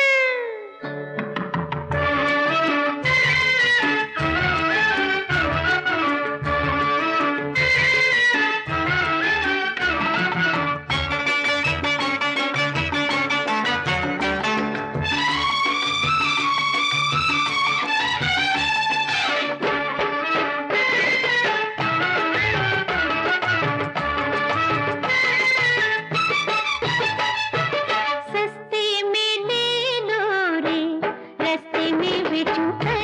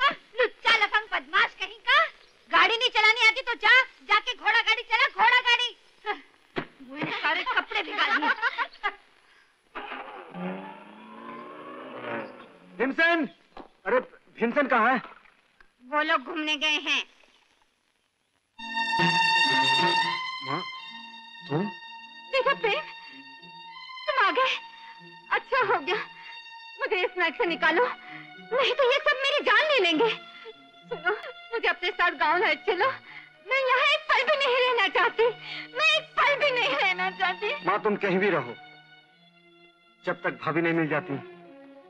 और तुम भाभी के पाँव छूकर माफ़ी नहीं मांगती। तब तक तुम्हारे पापों का प्रायश्चित नहीं हो सकता। क्या कहा? मैं अपनी बहू के पाँव पड़ूँगी वो तुम्हारे नसीब में कहा है माँ?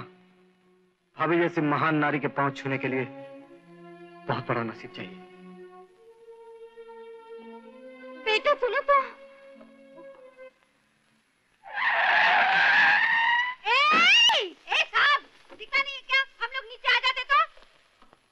माफ़ कीजिएगा मैंने जानबूझकर ऐसा नहीं किया। गाड़ी में बैठ के न जाने अपने आप को क्या समझने लगते हैं।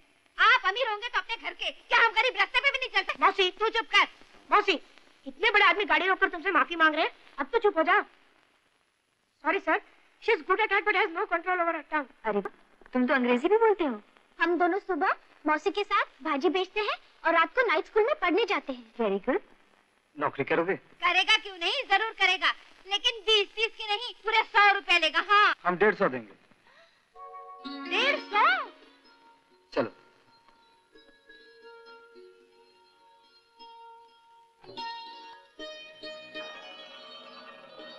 Mummy mummy.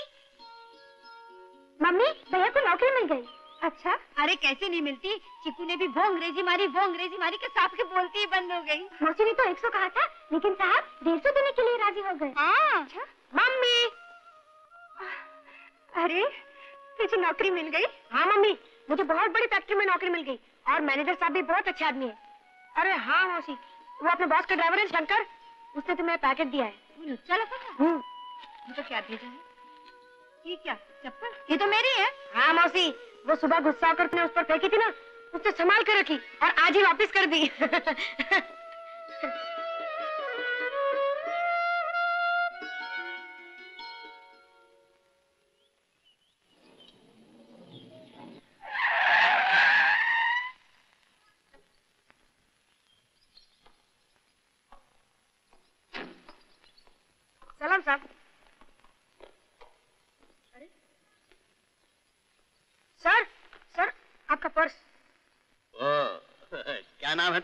सर इकर नाम चिक्कू रहा। चीकू? जी। अंगूर क्यों नहीं? अंगूर खट्टे भी होते सर लेकिन चीकू कभी खट्टा नहीं होता। ये लो। नहीं सर। लो लो लो लो। नहीं सर मैं भीख नहीं लेता। अरे भीख नहीं है बख्शीश है। दोनों का मतलब एक ही है सर। ओ राइट राइट। ईमानदार मालूम हो तो वेरी गुड ए सतरंगी का चप्पल वापस कर दी? हाँ। तब तो हमारे लिए कुछ कहा होगा। राजा अपना काम कर। अरे काम तो हम रोज ही करते हैं।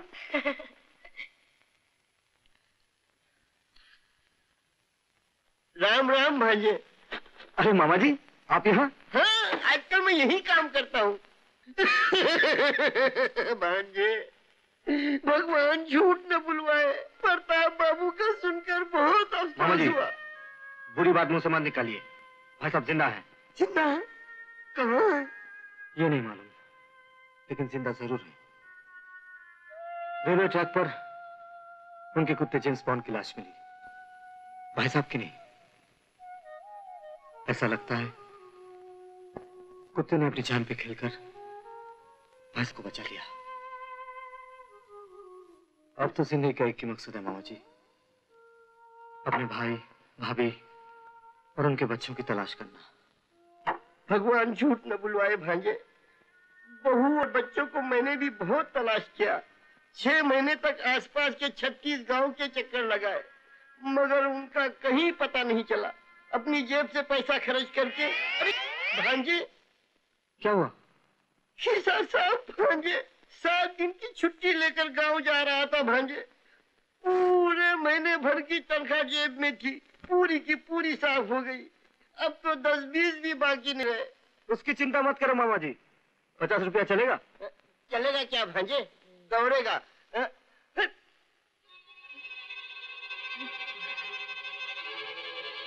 साहब हाँ? ये आदमी पक्का चार सौ बीस है। क्या? सोने की जगह पीतल के जेवर रखकर लोगों को लुटता रहता है।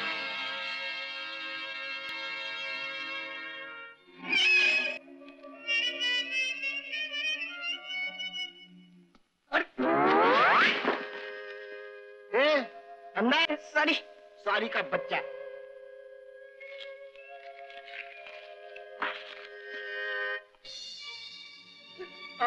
असलियत मेरे सामने आ गई। सेठ नटपल ने मुझे सब कुछ बता दिया था। तूने भाई साहब को पीतल का नकली जबर दिया था मेरी बर्बादी का कारण मुझे मत मार मत मार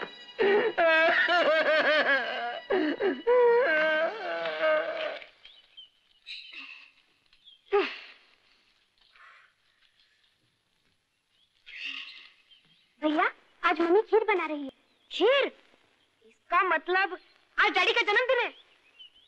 लेकिन अब डैडी तो इस दुनिया में ए चिकू क्यों ऐसी बात मुझसे निकालता है? हो सकता है वो ज़िंदा हो। इतनी अच्छी तकदीर नहीं है मेरी सतरंगी। लो कर लो बात अरे सतरंगी के बत्तीस दांत है। जो मुँह से निकल जाए पत्थर की लकीर समझो? हाँ।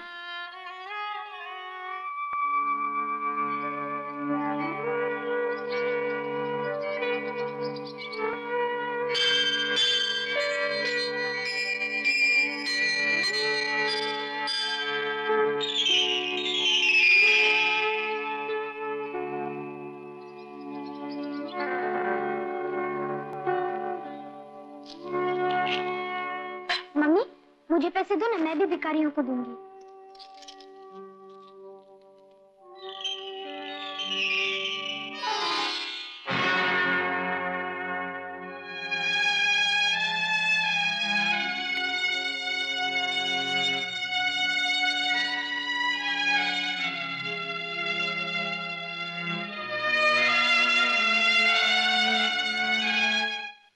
ये लो। क्या बात है? आज भाई साहब का जन्मदिन है ना? भाई का जन्मदिन और सिर्फ़ एक डिब्बा पेड़ों का?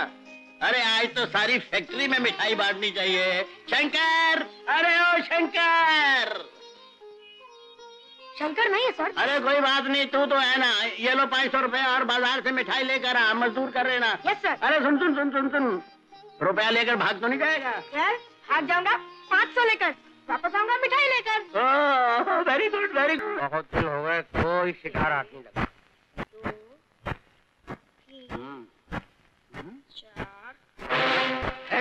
ताकत मार के बांटते इधर पैसे। नहीं नहीं, ये पैसे सेठ जी के मैं नहीं दूँगा।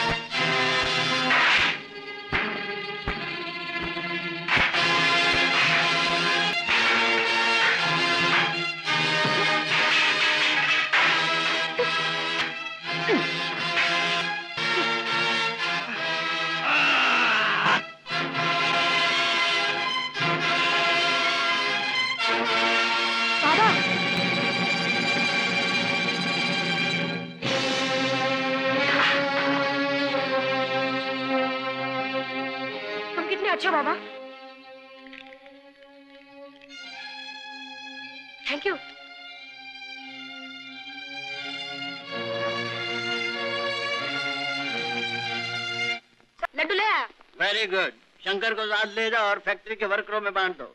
यस सर जाओ शंकर। गुड जीते रहो बेटा। ये काहे की मिठाई बांट रहे हो चिको? अरे अपने मैनेजर साहब है ना? हाँ? उनके बड़े भाई का जन्मदिन है। खाओ खाओ। अच्छा अच्छा। अरे पापा। आ गए बाबा आओ। बैठो। आज हमारे मैनेजर साहब है ना उनके बड़े भाई का जन्मदिन है। ये लो मिठाई खाओ। और बाबा आज हमारे पिताजी का भी जन्मदिन है। माँ ने खीर बनाई है मैं लेके आता हूँ अरे खाई मत करा हम सबको लड्डू बांटत है भाई। अरे तो हर मुँह में तो है हाथ में भी चाहिए ले भाई। लो बाबा। लो। लो बाबा। बाबा तो हुआ।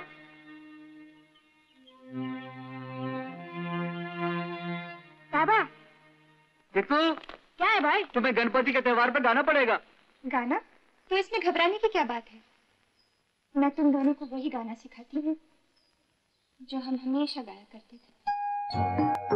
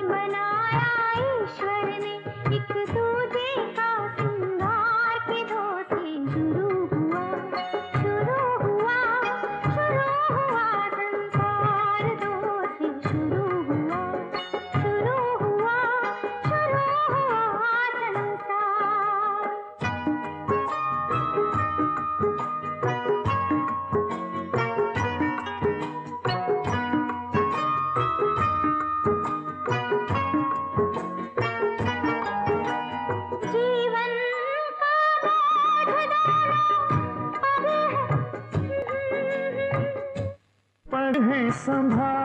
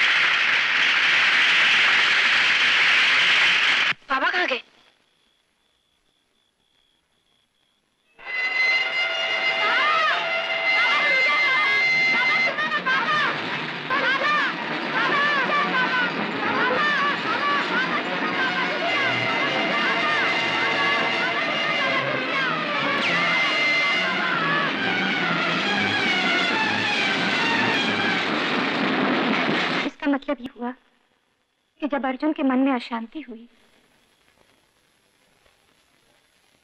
आगे बोलो ना दीदी। तो भगवान श्री कृष्ण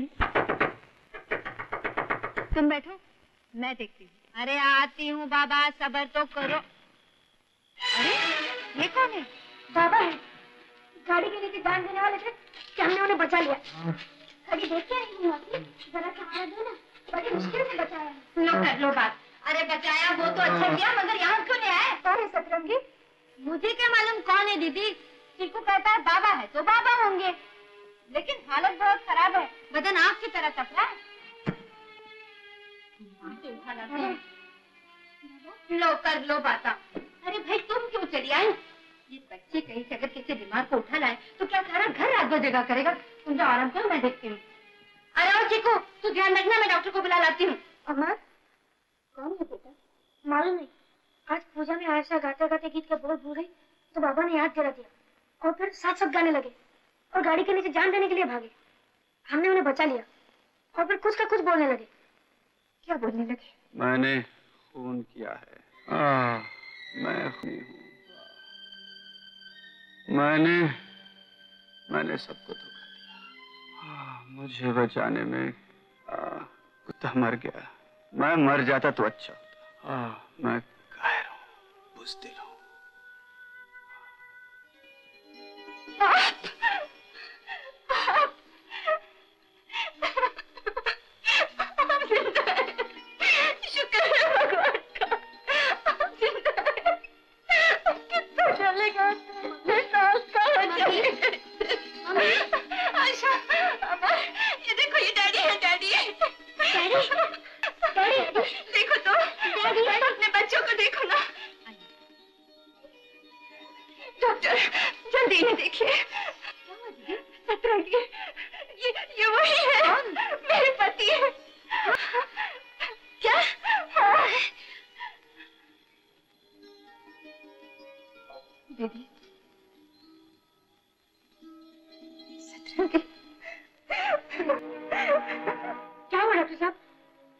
उनके दिमाग पर गहरा असर हुआ है।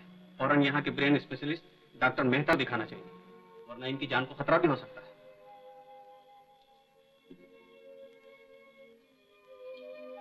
मम्मी मैं डॉक्टर मेहता को जानता हूँ। अच्छा। एक बार बड़े मालिक के लिए मैं उनके पास दवा लेने गया था। अच्छा। तो चल मेरे साथ। चलो। सतरंगी मैं हूँ अरे देखा इन लोग की मैं बोला ना डॉक्टर साहब नहीं मिलेंगे। जाओ। मगर मेरे पति की तबीयत बहुत खराब है। अरे मैं क्या करेगा?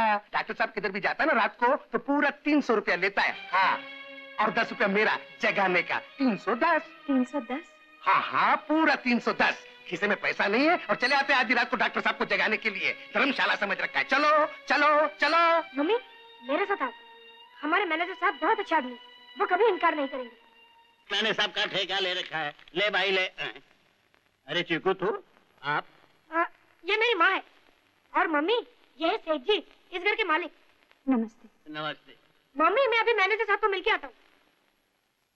क्या बात है? सेठ जी चीकू के पिता बहुत बीमार हैं और डॉक्टर तीन सौ रुपए लिए बगैर चलने को तैयार नहीं। तो तीन सौ दे दो। मेरे पास तीन सौ रुपए होते तो मैं यहाँ क्यों आती? वाह वाह वाह वाह।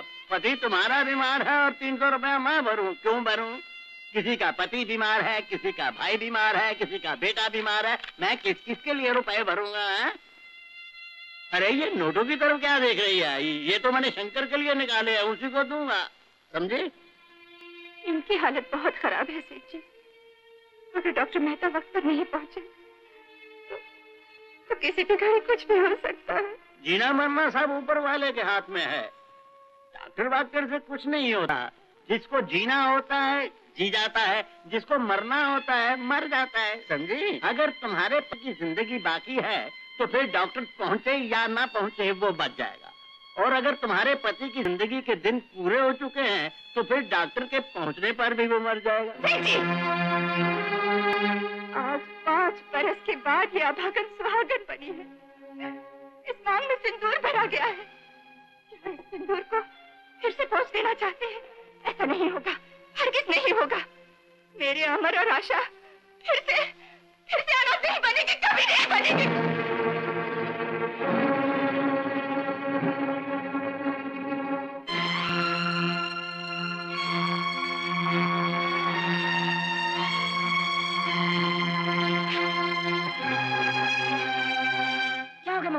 जल्दी चल।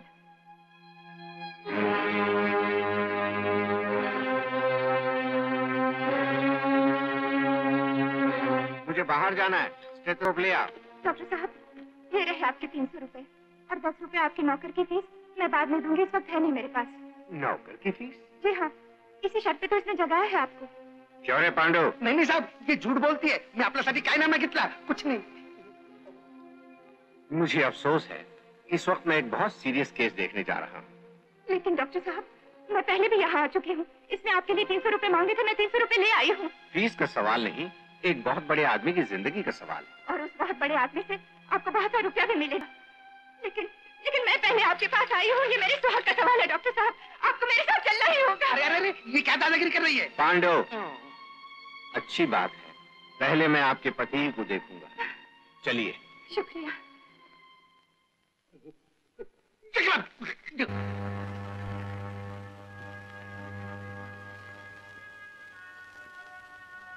माफ़ करना बहन गलती मेरी थी।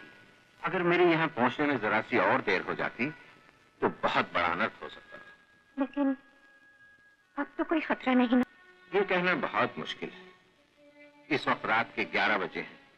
सुबह छह बजे तक इन्हें होश आ जानी चाहिए वरना डॉक्टर साहब। डॉक्टर सिर्फ़ दवा दे सकता है बहन शफा वो देता है। Let's hope for the best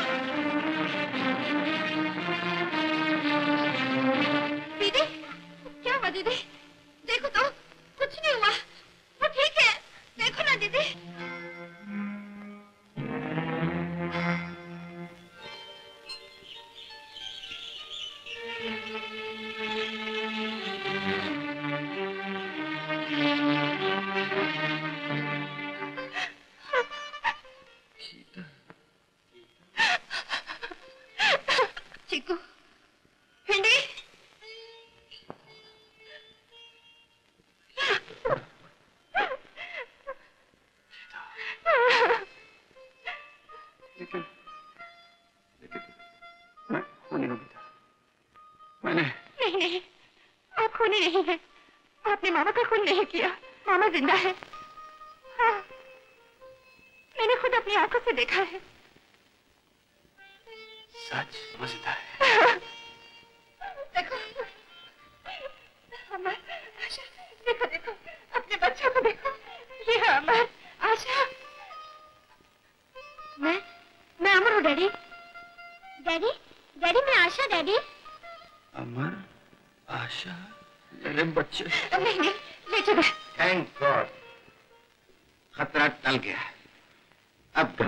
कोई बात नहीं बहन। नहीं नहीं आप आराम कीजिए। आपको आराम की ज़रूरत कल रात को जिन सेठ जी के यहाँ से टेलीफोन आया था उनकी हालत भी खराब थी। सुना है कि उनके मैनेजर ने उनका खून करने की कोशिश की। मैनेजर ने? हाँ हाँ सेठ हरिश्चंद्र जी का मैनेजर। आदमी कितना बदल जाता है। एक बार इसी मैनेजर ने सेठ जी की लड़की की जान डाकुओं के चुंगल से बचाने के लिए अपनी जान की बाजी तक लगा दी।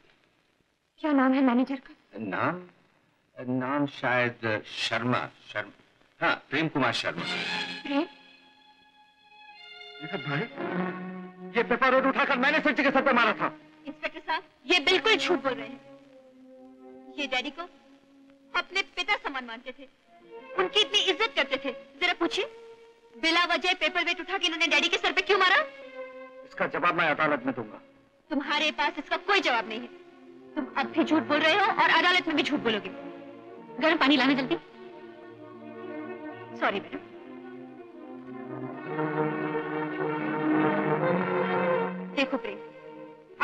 को कुछ हो गया ना?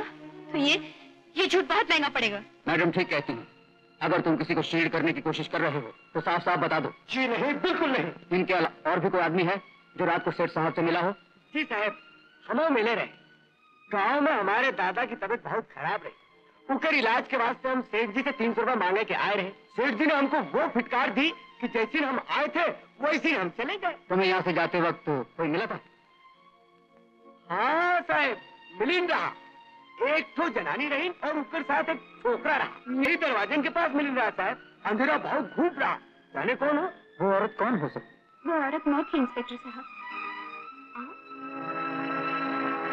ये बात मुझसे हुआ है। मेरे पति की तबीयत बहुत खराब थी। डॉक्टर मेहता तीन सौ रुपए मांग रहे थे।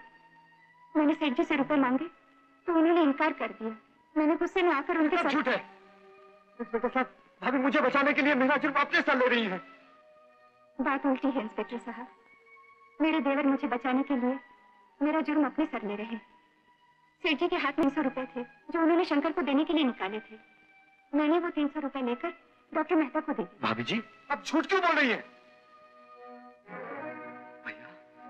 चाचा जी! भैया भाभी को रोक लो नहीं तो अनर्थ हो जाएगा। कोई अनर्थ नहीं होगा प्रेम सब ठीक हो जाएगा। आज बिछड़े हुए मिले हैं। तो सेठ जी का भी बाल बांका नहीं। होगा अगर भगवान ने चाहा तो उन्हें भी होश आ जाए। हमें होश आ गया। डैडी। इंस्पेक्टर साहब इस केस में ना तो ये लड़का मुजरिम है और ना ही इसकी भाभी। डॉक्टर साहब अगर आप दोनों को मुअज्जज मेहमानों की तरह रहना है यहाँ तो तशरीफ़ रखिए। चाय पानी पीजिए। और अगर आपको डॉक्टर या पुलिस इंस्पेक्टर की हैसियत से रहना है तो फिर मैं माफ़ी चाहता हूँ। समझ गए ना आप? समझ गए।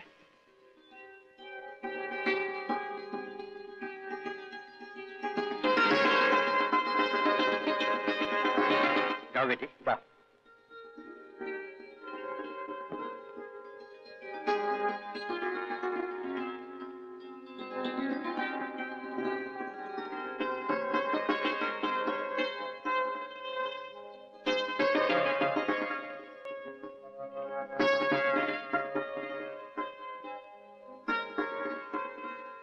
सतरंगी? तू कहाँ जा रही है? तूने तो कहा था दीदी मुझे छोड़ के ना जाना।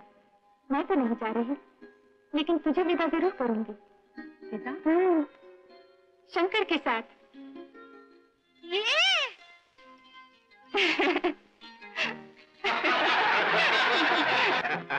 हाँ, तब तो टक्कर बराबर की होगी। हम लड़की वाले ही नहीं लड़के वाले भी हैं।